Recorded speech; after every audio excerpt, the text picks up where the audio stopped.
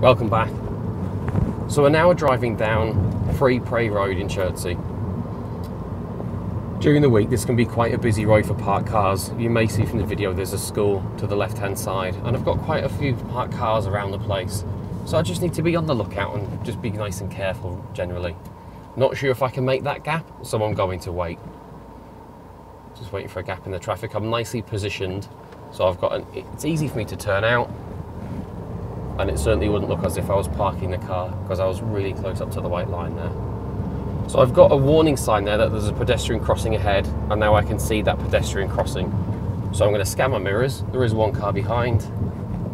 The crossing's all clear. And I can see the end of the road now and there's a junction ahead. Now your examiner may ask you at this point to join the road to the right hand side and drive past the white houses that you can see towards our right. So I'm going to clutch into first gear, slow the car down. I'm looking to the right hand side and that part's at the moment all clear. Looking to the left now, that's clear too, so I'm free to go. What's very important at this junction between Abbey Road and Bridge Road is that you must look to the left hand side. When you first drive towards the junction, if you haven't been there before, it doesn't come across particularly obvious that you need to check the left hand side. Really good observation skills are required there to do that safely. You can see the right hand side very easily as you approach the junction, but it's very difficult to check the left.